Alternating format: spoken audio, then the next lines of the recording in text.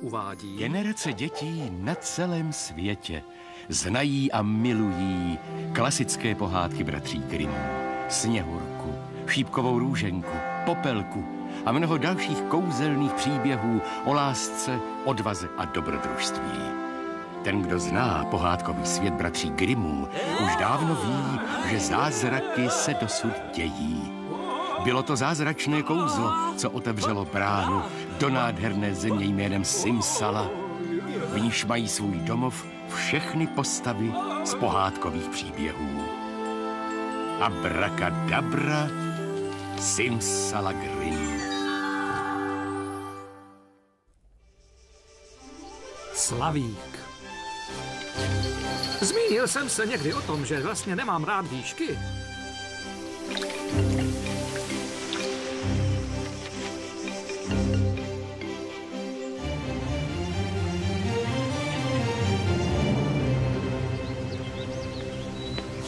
Veličenstvo, tyhle papíry potřebují váš císařský podpis. Fengu, je v mém krásném paláci všechno v pořádku? Ano, v naprostém veličenstvo. Myslím, že bychom měli nad tím potůčkem mít malý porcelánový můstek.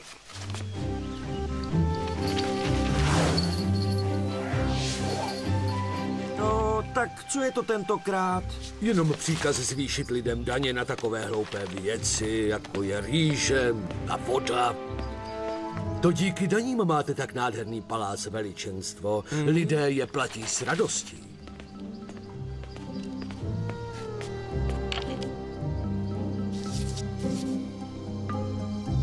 Tak, a teď nějakou hezkou hudbu.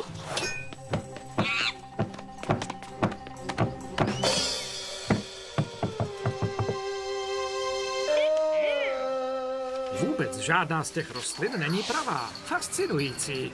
Bylo by fascinující, kdyby nás čekalo měkké přistání.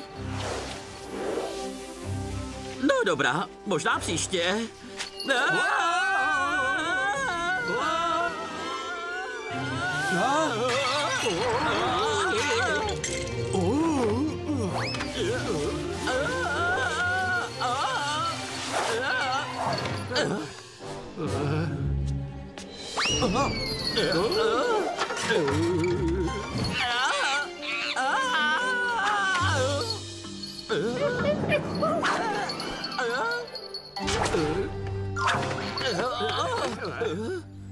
Není důvod k panice. Omlouváme se za tu škodu. Já jsem doktor Krok, učenec, filozof a tak dál. A já jsem Jojo, největší dobrodruchot. Ticho! S naším císařem můžete mluvit jen mým prostřednictvím. To tady musí být dost divné večírky. Tohle nejsou nádherní tvorové, co dělají v mém paláci. Odstraňte ty ohavné vetřelce! Odveďte je do spodních pater.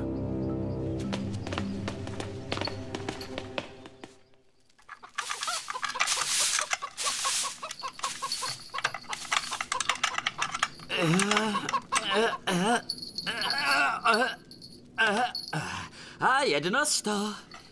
Hele, uh, za co jsi tady ty? Ano, jistě. Všichni jsme nevinní, že? Ahoj, já jsem Link. Těší mě, Link. Já jsem doktor Krok a tohle je můj přítel Jojo. Proč ta bezpečnostní opatření? Feng císaři zatajuje, jaký je skutečný život za zdmi paláce. Feng není rád, když císař vidí něco z našeho skutečného světa. Bojí se, že by se pak mohl zajímat i o další věci mimo palác. Utíkat nemá cenu. Bez Fengova povolení nesmí nikdo ven ani do paláce. Tady je dopis od japonského císaře. Nádherný palác a okouzlující zahrady vašeho veličenstva jsou neustále plné té nejkrásnější libé hudby. Ano, ano, vždycky je tu hudba. Krásná hudba. Ale legenda říká, že ta vůbec nejkrásnější hudba je slyšet daleko za hradbami paláce. Od malého ptáčka, kterému říkají slavík. Už jsme z toho nudného, hloupého dopisu slyšeli dost. Nemyslíte, veličenstvo? Musím slyšet toho slavíka. Musí to být ten nejkrásnější tvor na světě. To je ale jenom pověst, veličenstvo. Já toho slavíka prostě musím mít. Ale výsosti, něco tu můžeme vyrobit, něco mnohem lepšího, než je nějaký bezcený malý ptáček ze špinavého a nudného, pch, obyčejného světa. Neodporuj mi, Fengu. Sežeň mi toho ptáčka slavíka. Ale jistě, vaše výsosti.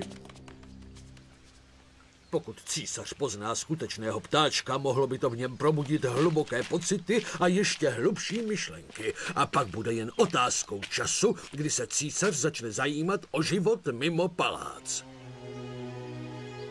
A než se člověk naděje, bude císař chtít dokonce převzít vládu nad naší zemí.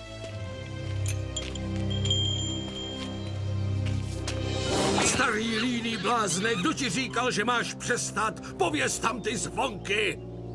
Rozptýlení. Císař potřebuje rozptýlení. Možná na toho slavíka zapomene. Fengu, budu mít svého slavíka už brzy? Na nic jiného nemyslím, veličenstvo. Všechno to nebezpečí spoza palácových zdí. Nejdřív ti vetřelci a teď ty řeči o hloupém slavíkovi. Ti vetřelci? Myslím, že mě napadlo něco geniálního.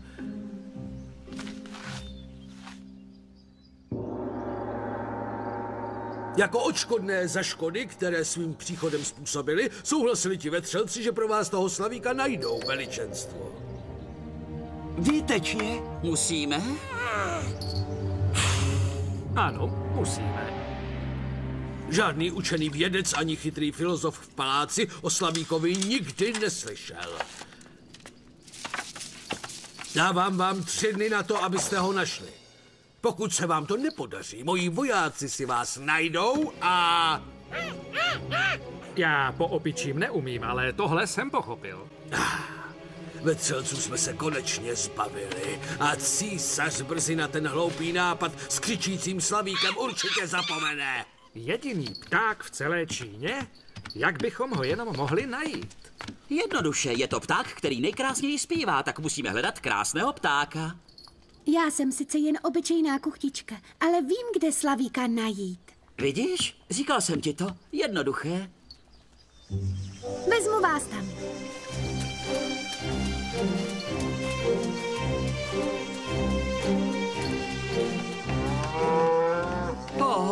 Nádhera. Tohle je slavík? Ne, jo, jo, to je kráva.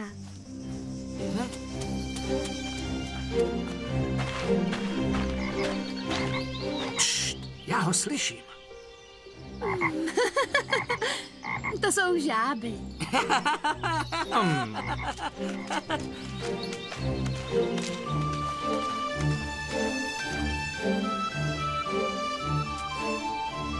A, ah, slyším slavíka.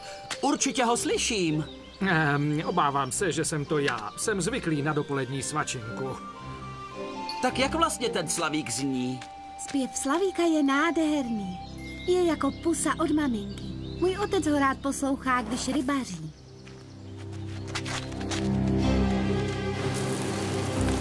Jejda, je to vysoko. Hlavně se nedívat dolů. To je ono. Ano. Je. Přestaň, to lechtá.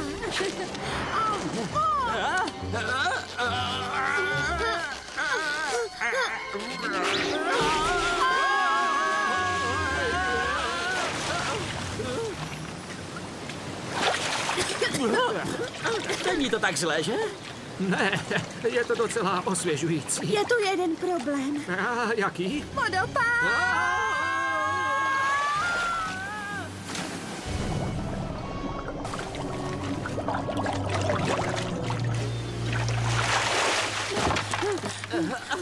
Moje sladká dceruška.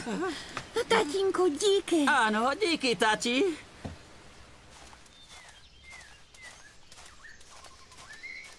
Páni, to je krása. To musí být Slavík, že ano?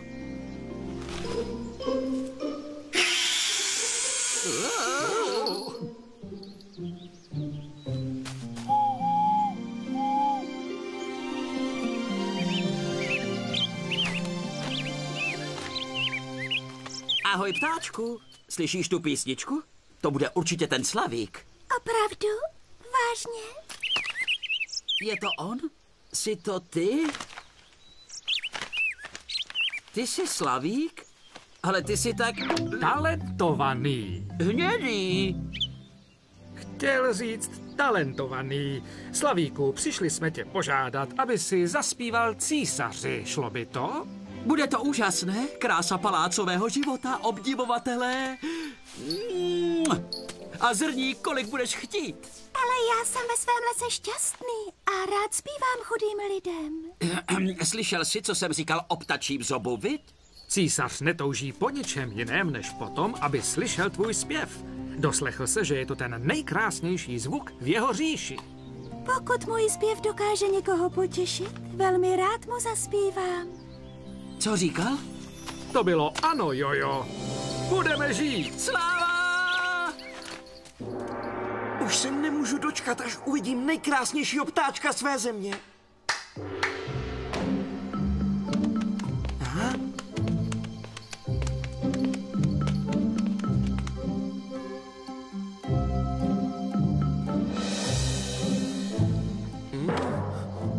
To je ono? To je vtip?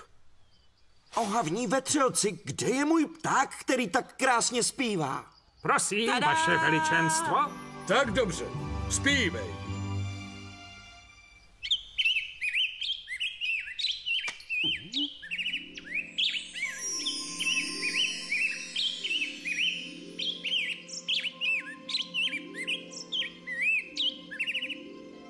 Ta... ta hudba... To není jako hudba, kterou hrají naše nástroje tady v paláci, to je... Problém, to je problém. To je ta nejkrásnější věc, jakou jsem kdy slyšel. Ve své hrudi cítím zároveň štěstí a smutek a chci, aby to nikdy neskončilo. Co pak to je? Pokud to můžu říct, veličenstvo, tak to zní jako láska. Ano, ano, malý hnědý ptáčku, to je ono.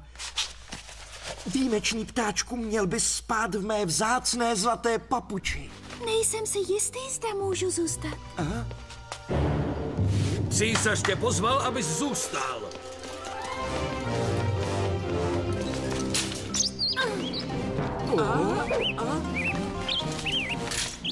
Tak zůstaneš. A vy vetřelci jste mi dobře posloužili.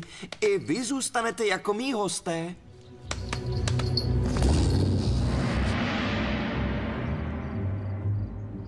Nevěděli jsme, že tě tu uvězní, Slavíku. Prosím, promiň nám to. Ale přátelé, ne.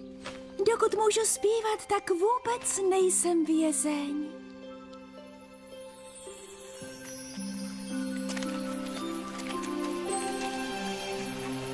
Od té doby, co přišel ten mizerný pták, to máme všechen ten nesmysl s pocity.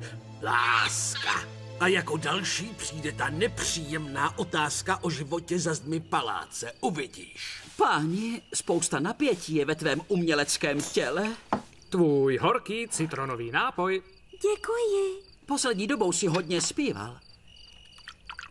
Musíš být unavený. A chybí mi ti lidé venku. Ale císař má můj zpěv rád. Show musí pokračovat. Když něco takového posloucháte, tak prostě víte, že se nic špatného nejspíš nestane.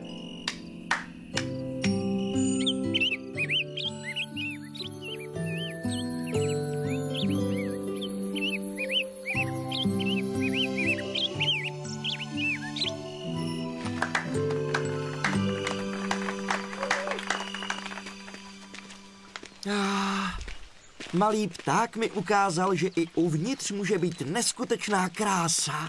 To by mě zajímalo, co se ještě může člověk tam venku naučit. Můžu vaši výsost ujistit, že za zdmi nádherného paláce vaší výsosti není nic zajímavého. Ale já jsem zvědavý. Tenhle slavík musí zmizet, ale našemu císaři nesmí chybět. Hmm, je to oříšek. Už není potřeba žádat o písničku. Každá jeho písnička je úplně jiná. Tenhle je mnohem lepší než skutečný živý slavík. Nejsem si jistý, já dávám přednost svému opravdovému slavíkovi. Ale výsosti, tady je ta krásná melodie pokaždé úplně stejná. Dokáže tohle váš malý hnědý slavík? Možná, že ne. Hmm, ale je to hezká melodie. La la la la la la la la la la. Tada. Malý hnědý ptáčku, už tě tady nebudeme potřebovat. S Bohem! Rozkošné. Dobře, rozumím. S Bohem, přátelé, zavolejte, když mě budete potřebovat. Chápu, měj se hezky.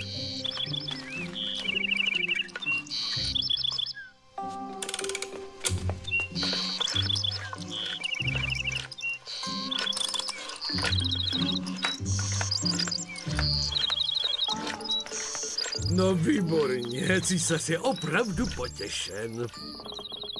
Znovu. Kolikrát tak už tu písničku poslouchali? Spočítal jsem to a vyšlo mi 482. Musím zarazit otravného kovového ptáka silou své mysli. Dokázal jsem to. Honem!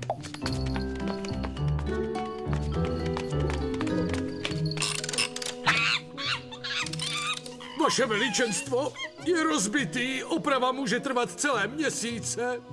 Měsíce? Vážně? Ano.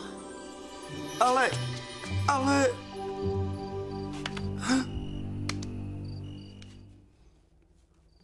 Zapomněl jsem na toho malého hnědého ptáčka a on mě opustil. Takže my se pokusíme toho ptáka spravit, aby zase hrál tu protivnou melodii? Proč? Viděl jsi, jak je ten ubohý císař zdrcený žalem? A děláme to potají, protože... Protože tak ho můžeme naučit také pár nových melodií.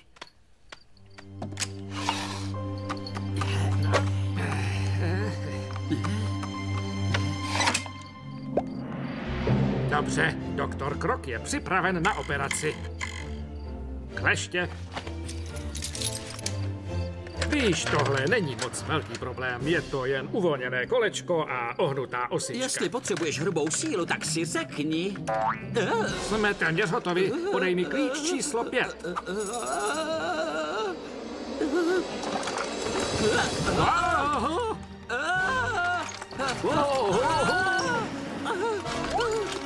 Co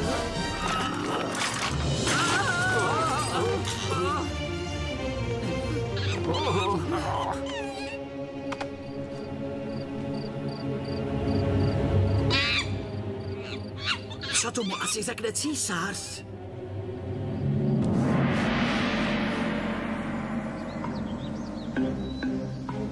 Zlatý ptáček je tak rozbitý, že se nedá opravit. A jsou tu ještě horší zprávy. Náš milovaný, žalem zdrcený císař náhle velmi vážně onemocněl. Náš císař možná zemře. Ale nebojte se, když se to stane, tak vám slibuji, že vykonám svou občanskou povinnost a zodpovědně převezmu řízení říše. To je všechno. Děkuji vám. Děkuji vám. Já vím, jak tohle vyřešit. Hrubou silou. Ne, jojo. Myslím, že je potřeba, aby se pravý slavík vrátil zpátky. Ale cesta trvá tak dlouho. Císař mezi tím může zemřít. A Feng pak bude vládnout celé říši. Link, mohla by si přinést toho rozbitého zlatého ptáčka? Ale ty ho nedokážeš spravit. No jasně, neumím zařídit, aby zase hrál, ale to není jediná věc, jakou ptáci dělají. Všechno už je hotové, jojo. Jdi prosím na své určené místo. A Link, Ty buď tak hodná a zvedni nás do vzduchu a hoď nás z balkónu. Počkej, hodit nás z balkonu? A to si ten, který se bojí výšek? Když je moje poslání důležité, není čas se tady něčeho bát.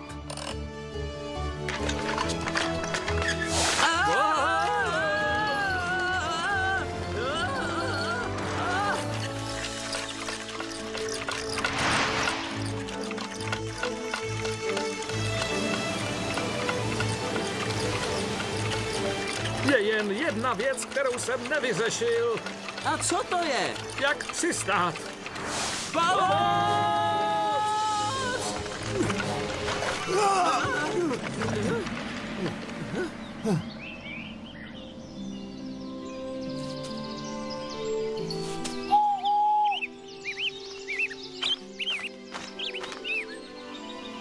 Tak dobře, přátelé, vrátím se.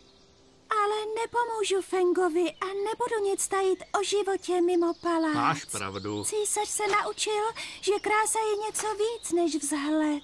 Teď se musí dozvědět, jak to vypadá za zdmi jeho paláce. O smutku a bídě lidí v jeho říši. Ano, ale musíš si pospíšit. Je moc nemocný.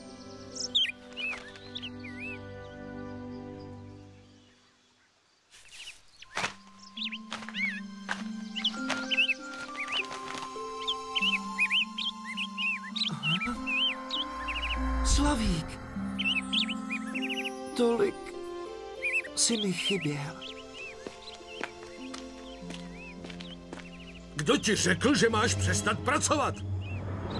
Ne, to není možné. Já věřím, že láska, kterou cítím k tvému zpěvu, mi zachránila život.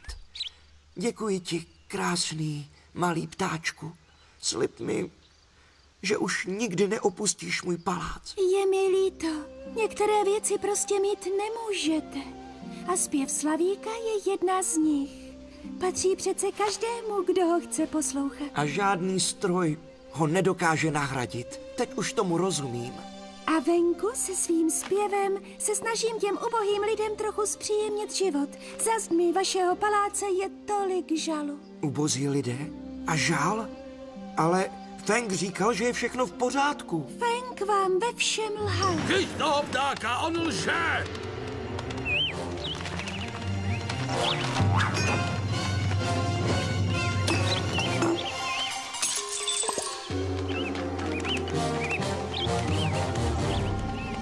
Ty jsi mi lhal. Ty jsi mi všechno tajil. Teď už znám pravdu. Výsosti, můžu to vysvětlit. Zatkněte toho komořího. Zapomínáš na jednu věc, ty hloupá opice. Já umím létat.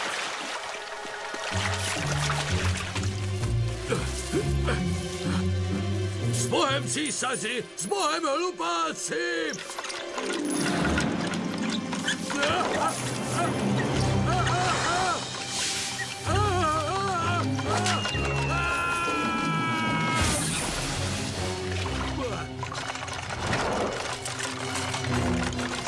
Co tvá velká síla? Teď by byla dobrá příležitost.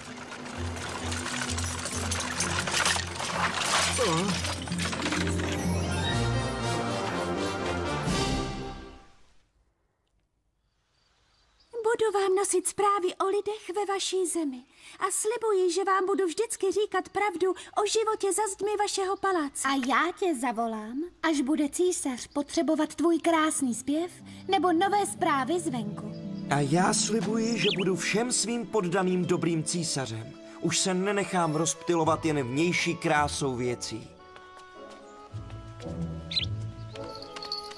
Myslím, že je čas jít.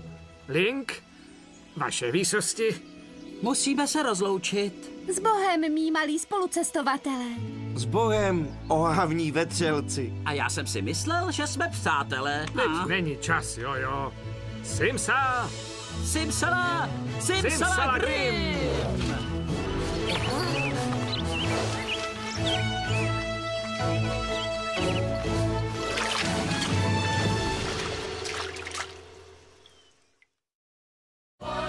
pak žili šťastně až do smrti. Na českém znění spolupracovali Petr Majsl, Lukáš Jurek, Šárka Vondrová, Jiří Balcárek, Vojtěch Hájek, Kateřina Halešová, Rudolf Kubík, Pavel Tesař, Vladimír Kudla, Rozita Erbanová, Zuzana Pultrová, Zlata Částková, Aleksandr Vybata, Lucia Haviárová a Zita Majslová.